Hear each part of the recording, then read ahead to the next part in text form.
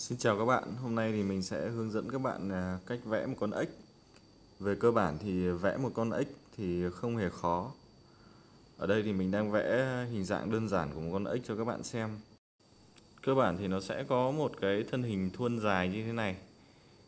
Với phần đầu ngắn liền với thân và không có cổ.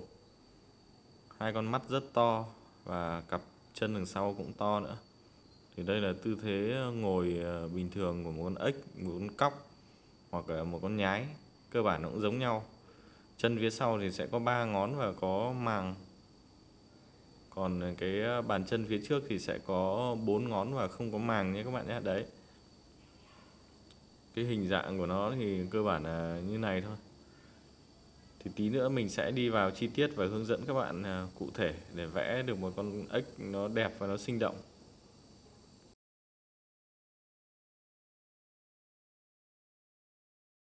Ở đây thì mình đang vẽ một ờ, con ếch ờ, với cái tư thế ngồi. Về cơ bản thì nó cũng giống như cái ờ, vị trí lúc nãy thôi. Chỉ cần các bạn vẽ các đường nét nó mượt mà, nó uốn lượn một chút, cho nó tự nhiên là được. Do là mình không có cái giá đỡ điện thoại ở đây, do đó mình cầm tay một tay vẽ, do đó là nó hơi khó nhìn một chút. Các bạn à, thông cảm cho mình nhé ở con mắt này chúng ta sẽ vẽ như này. Hai cái hình tròn như vậy. Rồi tí nữa chúng ta sẽ chỉnh sửa sau. Chính xác thì nó là hình ờ, giống như là hình oval hơn là hình tròn. Nó không tròn hẳn. Sau khi ờ, phát thảo xong cơ bản các đường nét thì các bạn sẽ tô lại những cái nét chính như này. Để tí nữa chúng ta sẽ tiện xóa đi những cái ờ, phần thừa ở đây thì mình đang dùng bút chỉ kim 2B để mình phát thảo. Các bạn lưu ý này, chúng ta nên chỉ dùng bút chì 2B để phát thảo cái này thôi. Đây là các phần ngón chân này, các bạn có thể thấy cái phần màng ở giữa các ngón chân mình vẽ đây.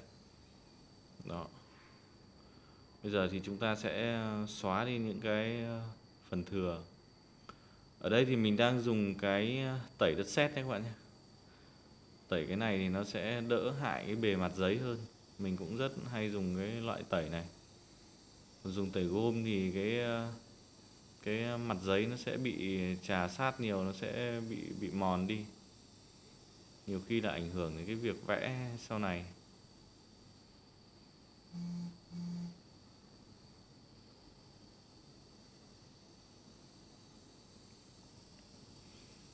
Quá trình tẩy này, các bạn lưu ý là chúng ta cần tỉ mỉ một chút, từng chi tiết, tránh à, tẩy vào những cái nét vẽ chính.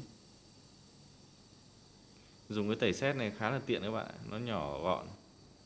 Chúng ta có thể luồn lách vào những cái à, khu vực mà bình thường cái tẩy gôm nó không à, không tẩy đến được. Đây, mình đang tô lại cái phần bàn chân trước đây. Có bốn ngón các bạn nhé, không có màng còn đây là một cái bộ phận ở hai bên ờ, gọi là hai bên thái dương của con ếch đi. Mình cũng không rõ nó là bộ phận gì, nhưng nó có cái phần này. Các bạn vẽ thêm vào để cho nó thêm phần chân thực.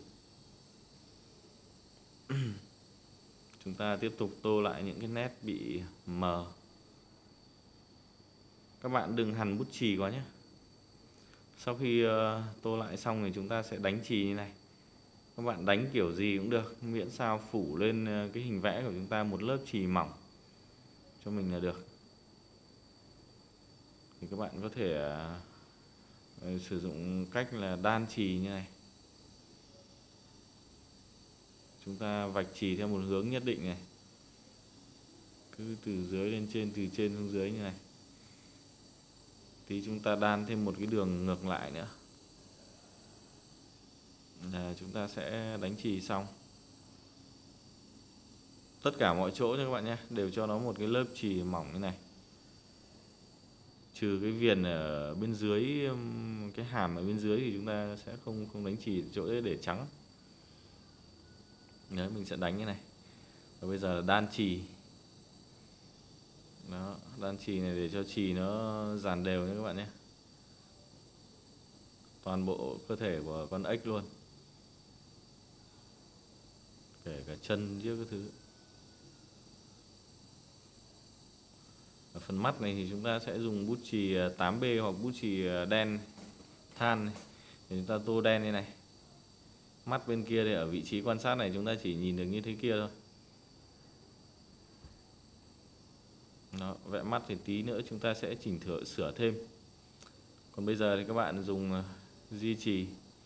Có thể dùng tăm bông hay là cái gì cũng được di cho cái chì đấy nó tán ra như này. Đó. Các bạn có thể thấy là sau khi di xong như này thì chúng ta đã hiện lên hình ảnh con ếch khá là rõ ràng. Phần mắt thì các bạn dùng bút chì, bút gen mực nước này, các bạn chấm một cái ở giữa kia cho nó sinh động, thể hiện à, bóng ánh sáng. Xung quanh cái viền đen này các bạn cũng tô trắng như vậy như này. Hoặc là trong quá trình vẽ chì lúc nãy thì các bạn có thể để chừa ra những phần này để cho nó có màu trắng cũng được. Đó, con mắt trở nên rất sinh động.